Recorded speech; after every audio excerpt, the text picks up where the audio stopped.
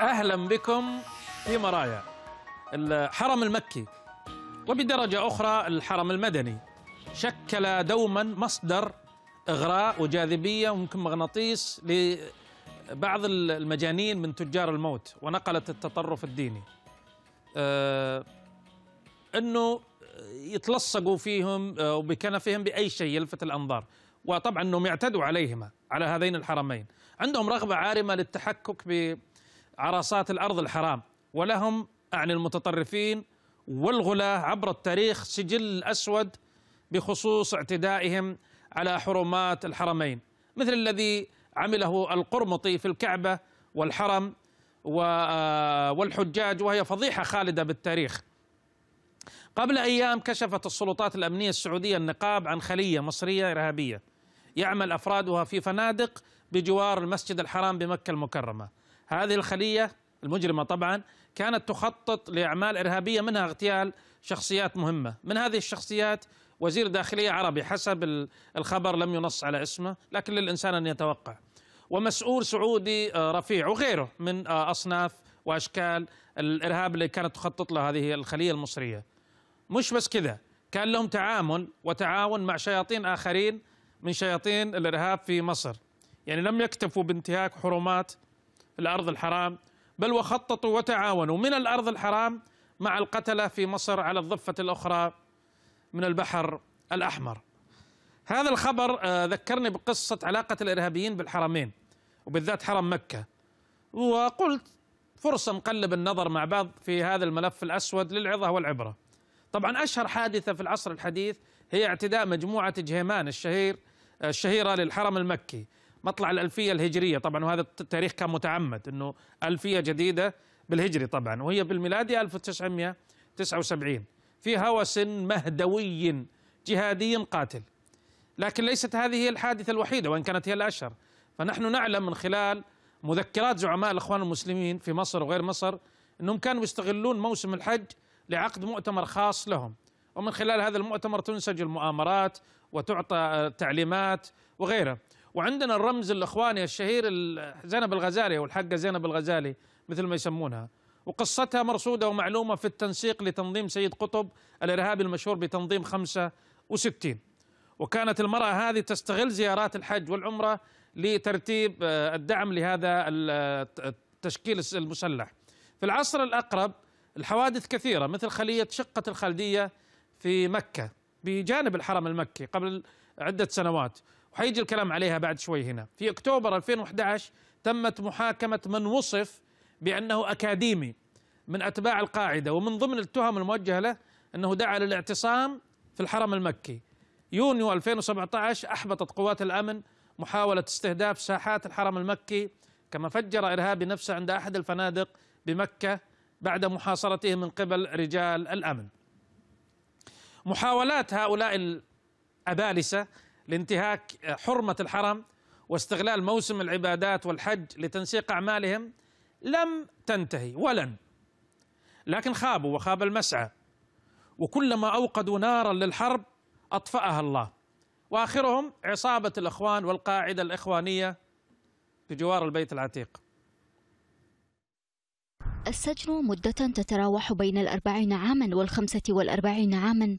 هي أقصى عقوبة طالب الادعاء العام السعودي بتطبيقها على مصريين اثنين متهمين بارتكاب جرائم إرهابية بما يعرف بقضية فندق جدة. وهما الأول من مواليد العام 82 يعمل بفندق في مكة المكرمة. وجهت إليه تهم عدة أهمها تأييده تنظيم القاعدة وجماعة الإخوان. السفر إلى مصر بقصد التدرب على السلاح وصناعة المتفجرات وتنفيذ عمليات إرهابية داخل المملكة. أما المتهم الآخر فهو من مواليد العام 80 ويعمل مديرا بقسم الإشراف الداخلي بأحد الفنادق في مكة المكرمة. وقد وجهت إليه تهم أبرزها تأييده تنظيم القاعدة وجماعة الإخوان. التدرب في مصر على صناعة المتفجرات والرماية بالسلاح بقصد تنفيذ عمليات إرهابية داخل البلاد. ليس فقط البيت الحرام بمكة لأنه وصل أذى وإجرام ورثة أسامة بن لادن وأيمن الظواهري وبغدادي والزرقاوي. وصل أذاهم آه، إلى باحات آه، المسجد النبوي في المدينة. نتذكر. لا حصانة لمقدس لدى الإرهابيين.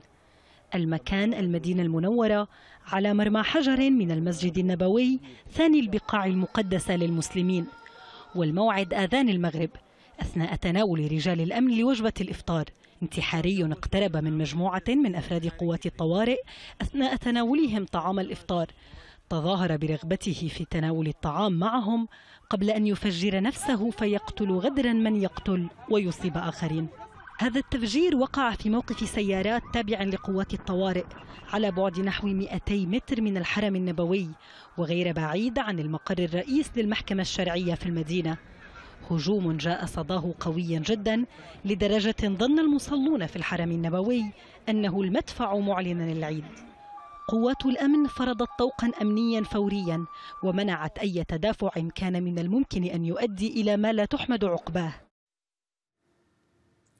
هكذا وباسم الدين يتم توقير الحرمات ومسجد طيبة الطيبة عند هؤلاء. مسجد طيبة الطيبة حيث نسجت قصة الإسلام الكبرى وحيث مثوى النبي الكريم وصاحبيه.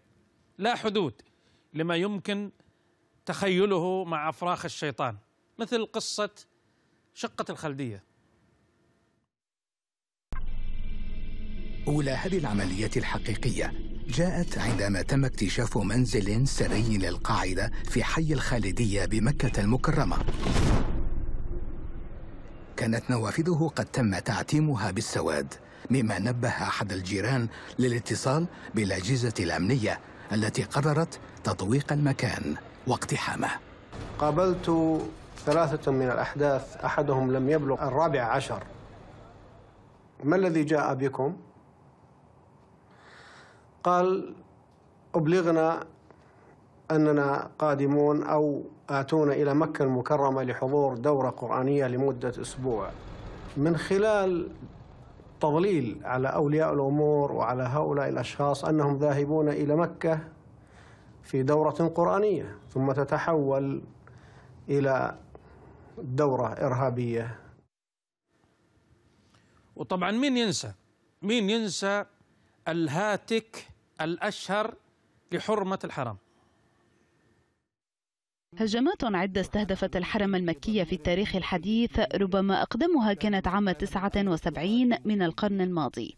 وقتها استولى أكثر من 200 مسلح متطرف على الحرم المكي بقيادة جهمان العتيبي ومحمد القحطاني الذي ادعى أنه المهدي المنتظر. تسبب الهجوم بوقوع عدد كبير من الضحايا المدنيين ورجال الأمن في باحة الحرم فاضطرت قوة الأمن السعودية لتنفيذ عملية اقتحام ضد المهاجمين بعد صدور فتوى بجواز ذلك. طبعا مشهورة اللي اللي حكينا عنها قبل شوي اللي هو جماعة جهمان وقصتهم مع الحرم. بالعودة للخبر الأول عن الخلية المصرية الإرهابية. إحنا قلنا خلية مصرية إرهابية وين؟ في مكة. والآن قبل شوي نتكلم عن جماعة جهمان وين أيضا؟ في مكة. أحد شهود وأبناء المرحلة هذه يخبرنا عن دور جماعة مصرية إرهابية مع جماعة جهيمان قبل حوالي أربعة عقود. معاهم واحد ثاني فصل من المجموعة. ليش؟ لأن كان على كلام جهيمان أنا الرواية هذه يحكيها لي جهيمان. لأن كان هذا الشخص يريد أصلا أسس الجماعة ودخل وياها كله عشان يجذبهم الجماعة الأخوان المسلمين. تعاون قديم إذن بين القتلة ومهاويس الخلافة وما الخلافة في مصر ومن يعينهم هنا في مكة أو في المدينة أو في الأرض السعودية كلها. تعاون على الإثم والعدوان طبعا.